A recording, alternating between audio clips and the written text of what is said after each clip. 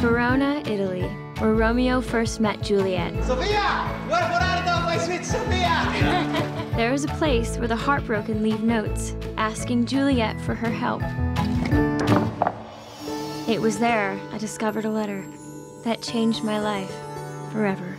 I'm Kyle Smith, film critic for the New York Post. Letters to Juliet is the new romantic comedy drama in theaters. This one stars Amanda Seyfried, the blonde star of Mamma Mia, as a young magazine fact-checker who goes to Italy with her fiancé, played by Gael Garcia Bernal. And the two of them are having a slight problem. He hasn't given her a ring. They don't really seem that into each other.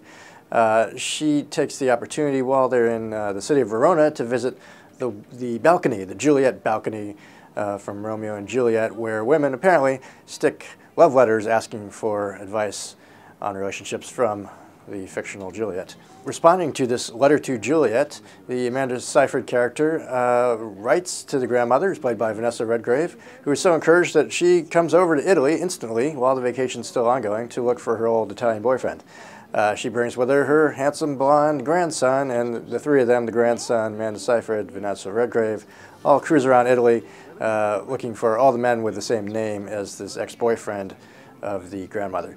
You can see exactly where the movie's going from pretty much uh, square one. It's a very obvious film. I found the movie uh, incredibly painfully obvious, full of uh, really bad dialogue, like uh, an angel has sent you to me, uttered, of course, in an, in an Italian accent.